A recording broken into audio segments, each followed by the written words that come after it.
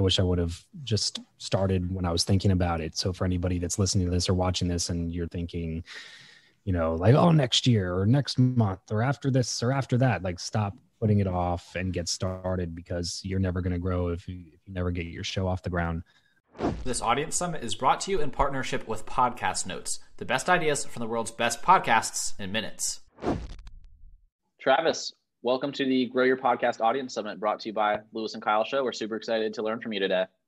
Yeah, of course. Thanks for having me, guys. Happy to be here. Uh, real quick for those in the audience who aren't familiar with yourself and or your show, could you introduce yourself, your, your podcast, the when and why you started it, and what the mission is? Yeah, sure. So my name is Travis Chappell. Started a show called Build Your Network uh, a little bit over over three years ago now, and it was really just in an effort to kind of do something similar to what you guys did, which was explore how to make money in a way that was um, more conducive to the lifestyle that I wanted to live and something that would give me the freedom that I wanted, the kind of the impact that I wanted, the lifestyle that I that I wanted to live, all those things. And I saw podcasting as the vehicle that was going to allow me to get there.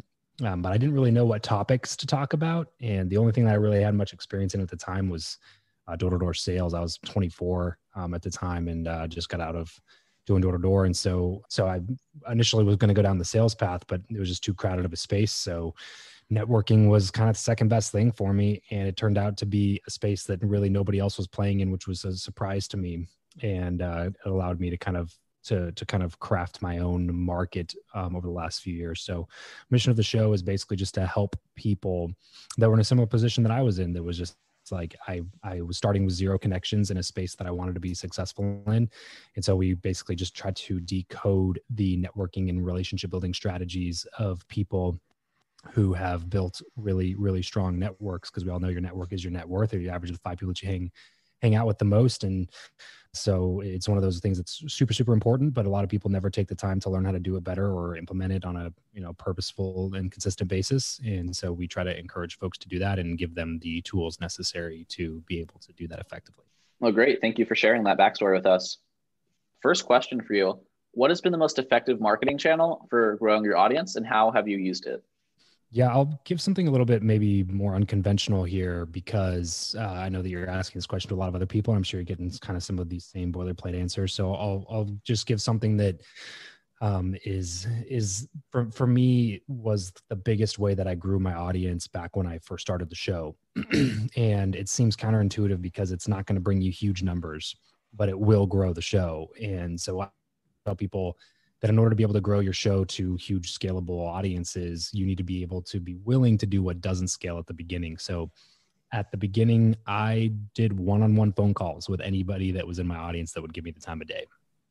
Anybody that I found out was listening, even if they didn't book me through my calendar link that I told them to go to on a call to action on my podcast, I would if I found out that somebody had listened to me, like if I if say they reached out in a private message, if they emailed me, if they like if I figured out somehow that this person was paying attention to anything that I had to offer, I would ask them to jump on a one-on-one a one-on-one phone call with me.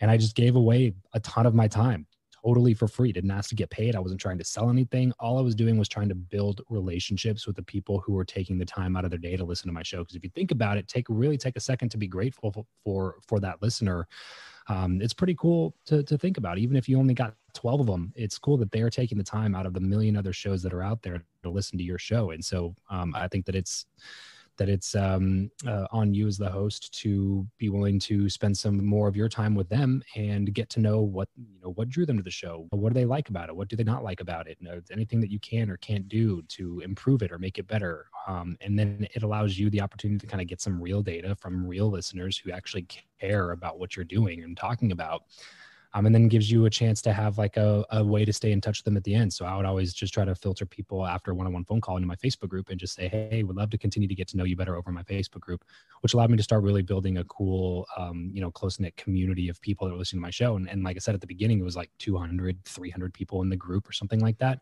But uh, but over time, that that really starts to become like a really tight-knit, close community of people um, and and they really feel like they're early adopters from the beginning if you're if you're going to do that. So um, that that was probably the biggest thing that I did to grow my show at the beginning, uh, because those listeners t- are no longer just listeners; they turn into kind of evangelists of your show, right? Because if they're sitting down with five of their friends and they're talking about podcasts they listen to, which one are they going to be more likely to recommend?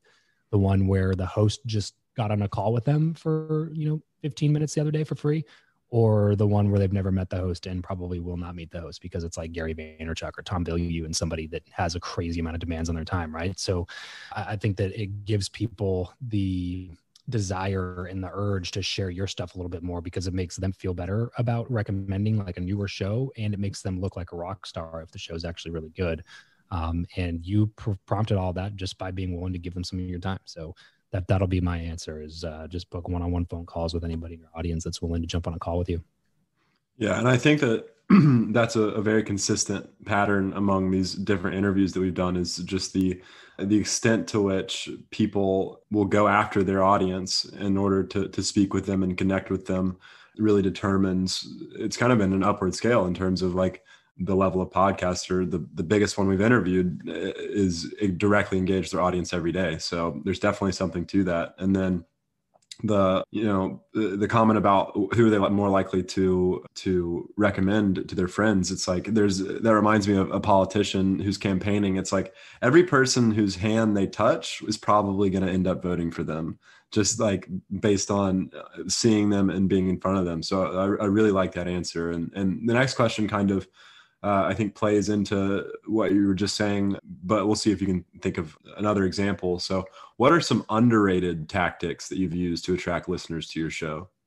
Yeah, I probably should have saved that one for that one. But uh, uh, I would say another thing would be uh, a community growth, uh, with like a Facebook group or something like that, a way for people to like. There's magic in the community aspect. There's it's one thing if you're listening. The the podcasting is great for so many things. One thing that it kind of sucks with is audience engagement. There's no way for audience members to engage with each other. Like if you're if you follow someone on youtube or on instagram or something like that there's comments on the post there's comments all over the thread there's comments on the whole channel you know what i mean? Like there's just there's so many ways that you can go interact with users yourself but also there's a lot of ways for those users followers your audience to engage and interact with each other and podcasts just doesn't exist. So if you're not purposeful about putting them into an environment where they can meet other people who have similar interests in your show then that community aspect's never going to be there. And uh, i think that i think that if you're not if you're not using that to your advantage that you're making a really big mistake. Plus it gives you another another outlet of lead generation that isn't just your podcast. Like you like you might like people might start joining if your facebook group comes becomes good enough then they might start joining your facebook group and then hearing about your podcast because of the facebook group not just people who listen to the podcast and then hear about the facebook group. So i think it becomes a, a tool to grow the show with um, through the community that you're building but it's also a way to continue further engaging the audience that's giving you the time of day on your show uh, that's a great answer. And I think uh, you've kind of been doing a great job of pedaling right into the next question here because just like that was a lot of community building and creating strong fans because they have that sense of belonging. Uh, but in what additional ways have you converted listeners into fans? So you kind of established that you've found ways to have a large reach, uh, but in what ways have you kept the same people coming back?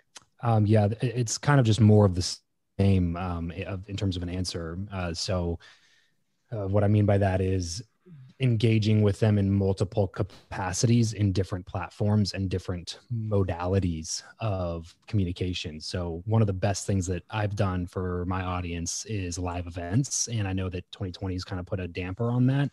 Um, but hopefully we'll get back to a lot more of that in, in 2021 but some of those are some of the best things that i've done is hosting like international retreats for for audience members and and taking a group of people to thailand or a group of people to bali and next week next year we're going to costa rica we did a, a live event out here in Vegas with 100 people last year. Um, those types of things have have been huge needle movers for the whole brand as a whole just because we always get really great video and uh, and and and picture like footage from those events and it, so it moves the needle for the brand as a whole but it also moves the needle in terms of relationships and engagement with the people that you that, that are that are in your audience and fosters that community aspect on a much much deeper level because it's all in person uh, so so those have been those that I mean like engaging your audience on a platform besides the one that they found you on, I think is a is a crucial aspect. I like that answer. So the next question for you and the next question for everybody in our summit is if you could start your show over again, what would you do differently to grow it more effectively? I would start sooner. That's that's the real answer is as i would have i would have just started sooner. I would have uh, i wish i would have just started when i was thinking about it. So for anybody that's listening to this or watching this and you're thinking you know like oh next year or next month or after this or after that like stop putting it off and get started because you're never going to grow if you, if you never get your show off the ground. The other thing that I wish I would have done from the beginning is at least test spending money on growing the show um, and just trying to work out different traffic channels because that's something that I've had to do now um, recently that that I have more of a budget and I, I just kind of had this limiting belief that if I didn't have a large budget that it wasn't worth putting ads behind it and I think that that's just a, a, a false, um, uh, just like I said, a limiting belief that's that's going to prevent you from growing your show. Whatever budget you have, you know, put it to use and uh, and just trust that you know something like one of these days, one of these traffic channels is gonna is gonna really you know um, uh, get traction for you and your show. Great. Well, that leads great into the last question, which is if you did uh, have to get into that scrappy mentality and start doing some paid promotion, if we gave you a thousand dollar marketing budget for your podcast, how would you spend the money?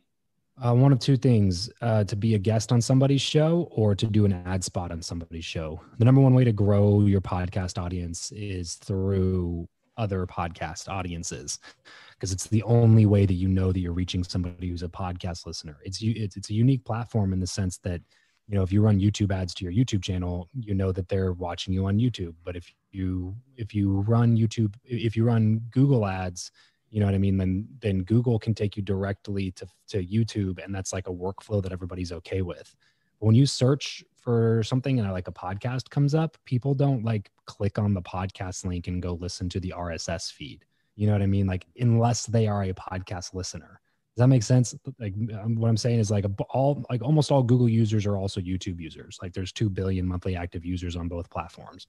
You know, Facebook there's one point some 1.7 billion or something. Instagram there's one point something billion. There's almost a billion on LinkedIn. Like all these other platforms are just so large, and podcast listeners are you know 250 to 350 million, I think, at this point. So it's just a fraction of the audience that's on Google or YouTube and so if you try to advertise to them on YouTube or Google or Facebook or any of these other platforms that a lot of people are buying media on, um, you're just not you're not guaranteed to reach those people. And sure, there are different you know targeting things that you can do to select groups based on people they follow and that they're more likely to be a podcast listener. But at the, at the end of the day, you don't really know. The only way to know for sure if they're a podcast listener is if you're reaching them on a podcast. So if you're going to spend money on it, try to buy ad spots on similar shows in your niche or or use it to try to book guest spots for you to be a guest on somebody's show within your niche.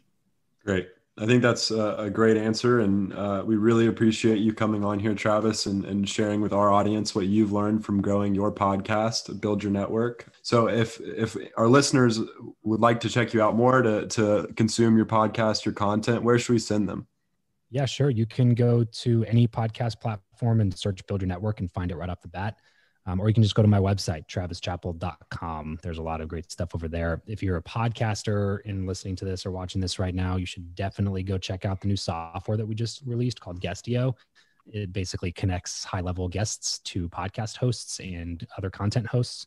Um, so if you have a podcast and you want some really high level guests to come on your show, then you can go to Guestio and book them. Some a lot of them are for free. There's a lot of people on there that are free, really high level folks that I was surprised don't charge anything.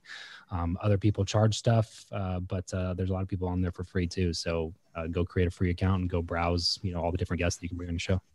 Absolutely. Thanks, Travis. Thank you so much for watching this interview. I hope that you enjoyed it. If you did, please subscribe to our channel right here on YouTube. And if you feel like you learned something, share this episode on social media to help us grow our audience as well.